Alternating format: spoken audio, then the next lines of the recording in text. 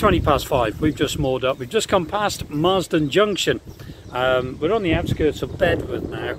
Uh, this will do us for tonight. Tomorrow we're going to move down to Hawkesbury Junction, down to where the Greyhound pub is. Um, and we've had it, had it on good authority that the food there is excellent. So we might treat ourselves and have a meal. But yeah, down to Hawkesbury Junction tomorrow. Who knows when we're going to turn on the North Oxford. We may have a couple of nights at Hawkesbury. We have got plenty of time. And as I said earlier, we're definitely going up the Ashby. But we want to enjoy it. So uh, we're going to take our time. We may even carry on down towards Coventry and go down to the Coventry Basin. So as we can say that we've done the whole of the Coventry Canal. We probably will do, to be honest. I might get up early in the morning. We'll cruise down. If it doesn't feel safe, if we get a bad feeling about it, at least then we can turn around and come back and then get on the North Oxford. We'll see, but it'd be good to do it. Right, I'm going to go in now and have some tea, a nice shower, a film, and it will be an early night. Unfortunately, Nikki was up most of the night. Poor little Dale's got an upset telly, uh, tummy. Um, yeah, you can imagine, on a narrowboat. So, uh, yeah, Nikki's very, very tired. I didn't hear a thing. I slept like a log. But uh, there you go. but he's a bit better. He's all right in himself. So don't worry. He'll be fine. We're keeping an eye on him. Uh, nice dry food for Daily Whaley. Right. I'll see you tomorrow.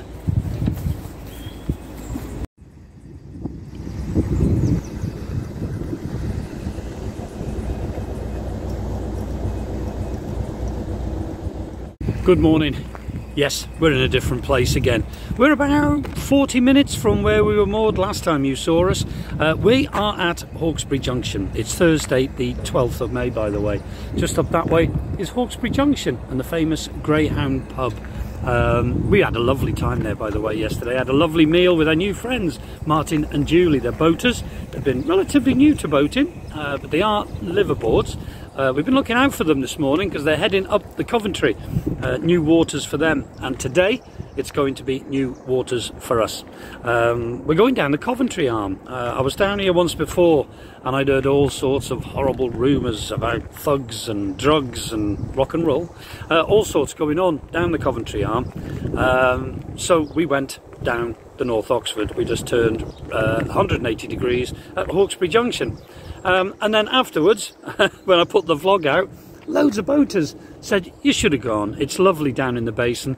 Um, it's not the nicest of waterways. I think it's good to say that. Um, very industrial, which you'll see. Um, but apparently in the basin it's really nice. So we're going down there, we can take the kids to town. We want to show them the legendary cathedral there that was obviously bombed heavily in World War II. It was a heavily bombed city, was Coventry in the Midlands, sadly. So uh, yeah, we want to tell them a bit of history about that and basically have a good fun in the city. So we're going to move that way. Let's get going.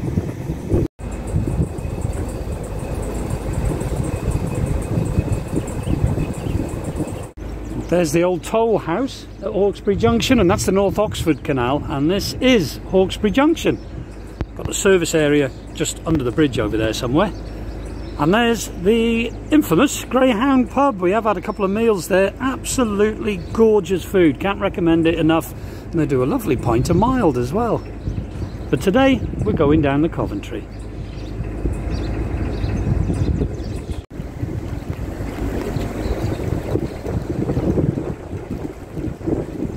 Just as you enter the uh, Coventry Arm is this beautiful bridge with the sculptures on it.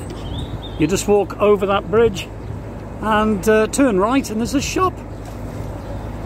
Virtually stocks everything really. Brilliant little shop.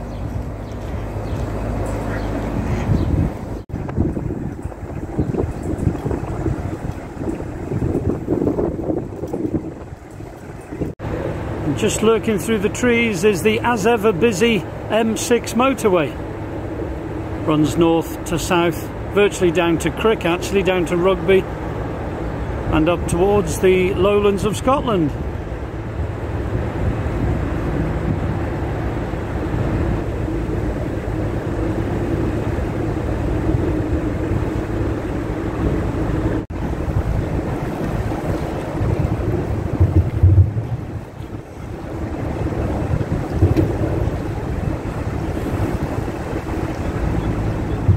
Well, we've only been on here a few, uh, well, five minutes, ten minutes, something like that. And I've already had to clear the prop a few times. There's certainly a bit of debris floating. Uh, and from what I'm led to believe, it gets worse the further down you get. But uh, it's supposed to be all good at the basin, and uh, it's nice though. It's new waters together, isn't it? It is, yeah. Yeah. So we're looking forward to it.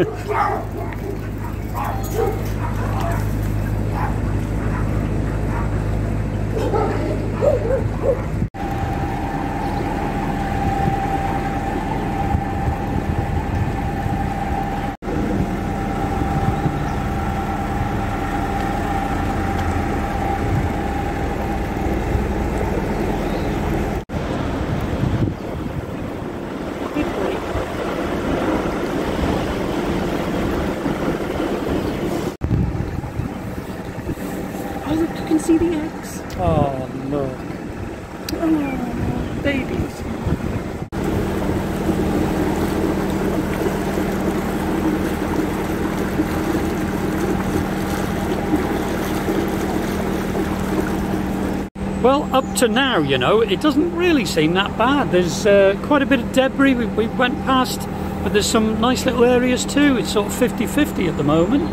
But there's like industrial estates everywhere. You can see there's a factory or something behind me there. Uh, and then you've got greenery on the other side. So it's a, it's a bit of a mixture so far. So, so far, yeah, so far, not bad.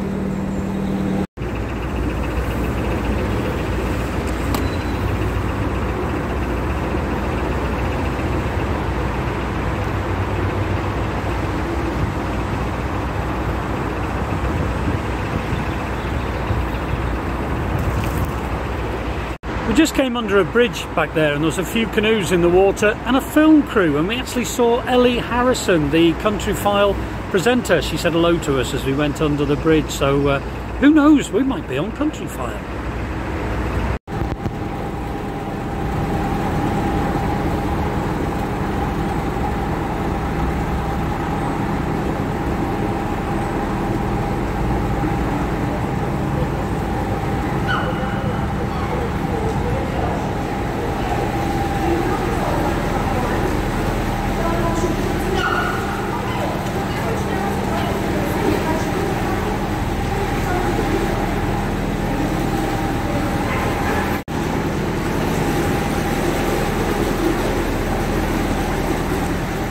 And here they are, the first cygnets that we've spotted. We've seen more hens and coots and ducklings. Oh, look. The first little cygnets. Aren't they beautiful?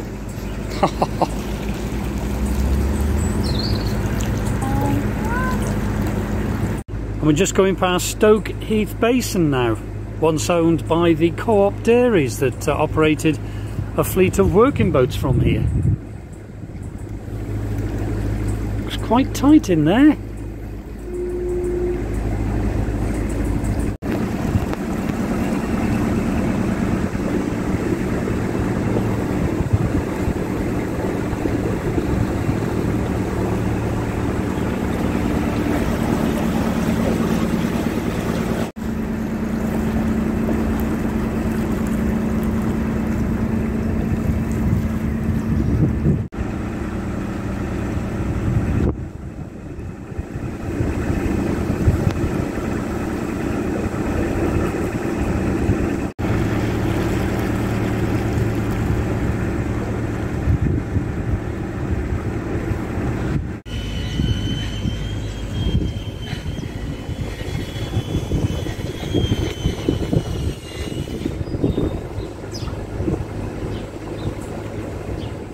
Not far to go at all now. We're just coming towards Bridge 2. So, uh, yeah, obviously 1 is the last one, or 1A. I'm not sure really without looking at the book. Uh, so far, it really hasn't been that bad. It has been industrial, yes, in parts, but it's also been very beautiful as well in parts. Um, I haven't picked up any shopping trolleys or mattresses, so everything's good so far. But we're not quite there yet.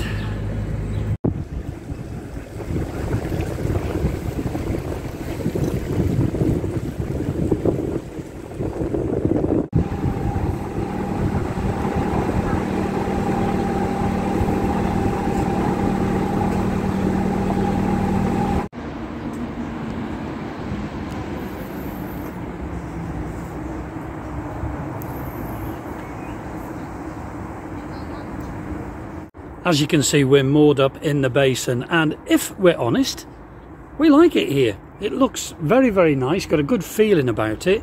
Uh, quite imposing with the 60s architecture looking over it would have looked a lot better a lot different back in the day. Um, it's really nice there's a lovely statue here of Mr Brindley himself obviously designer and builder of the Coventry Canal but it's nice. And we got the last space. I had to sort of wind in the winding hole up there and then back up uh, reverse through two boats and then get it in this little gap here. But um, no problem with bow thrusters obviously. But yeah it's lovely to be here. So uh, over the next uh, couple of days we'll have a little bit of, a, of an explore. I think we're going to go and have something to eat over in a cafe that we spotted at the corner. And then I think we're going to go to town and have a little bit of a walk around town uh, with the doggies. So that'll be nice. Yeah got a good feeling about Coventry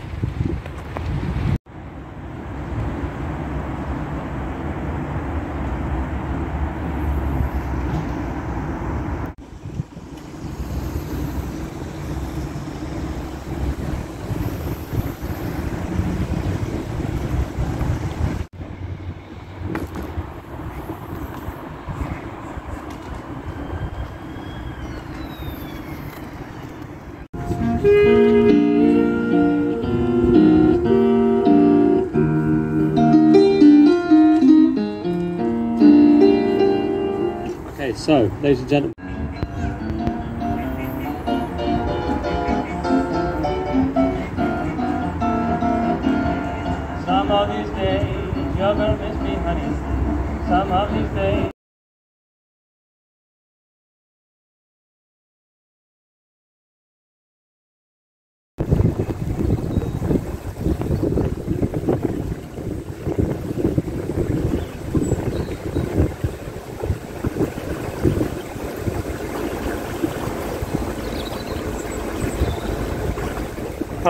Well, good afternoon. It's Saturday, the 14th of May, and the sun's shining, and it's a beautiful day.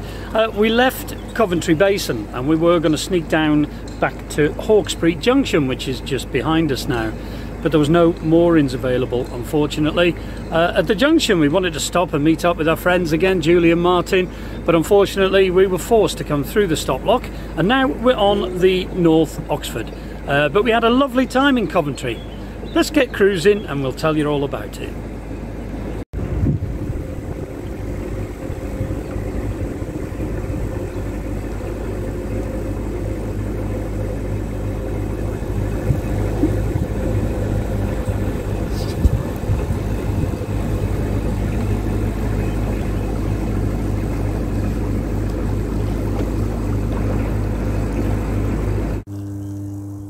I've just turned the engine off. I don't know whether you can hear the, the buzzing of the electric coming from this power station. Oh. This is a nice place to moor up. What do you reckon? No? I think we'll keep going.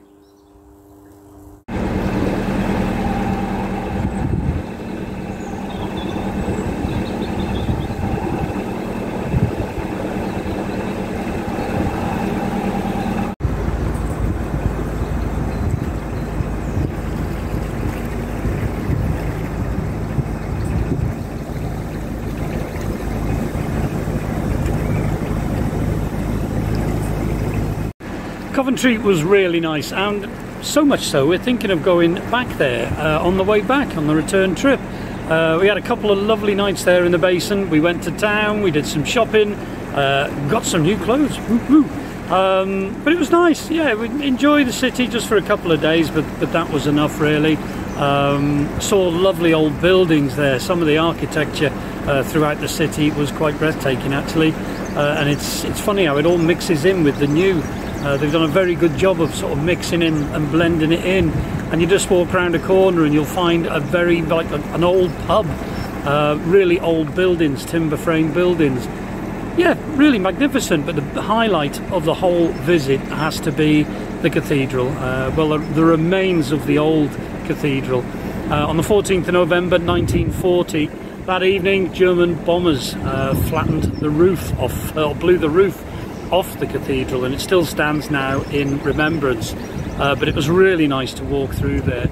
Um, it was quite sad actually. It was quite emotional when uh, we all walked in. You could feel it, uh, and you could see little bits of stained glass still in the windows. Remarkable. Um, and then to top it all off, we heard a choir singing.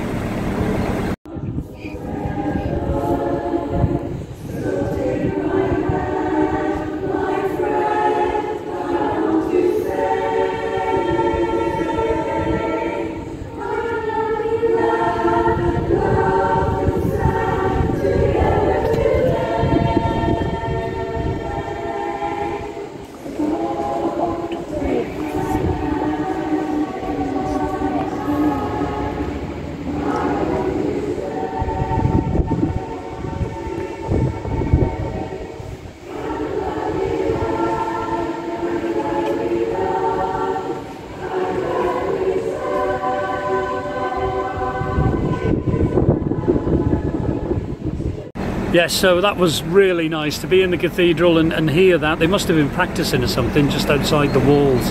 But uh, yeah, it was a lovely visit.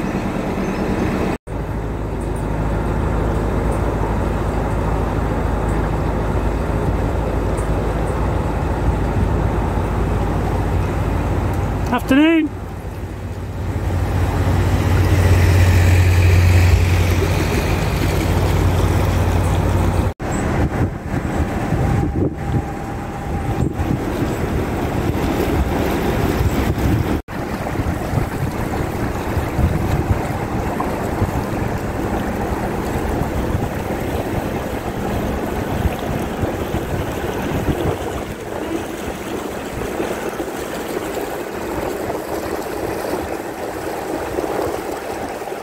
Just to our starboard side, we can hear the motorway, the M6, roaring.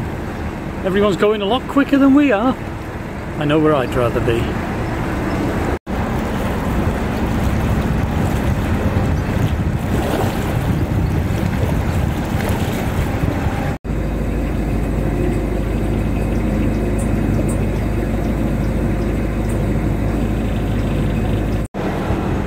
And there is the very busy M69 motorway.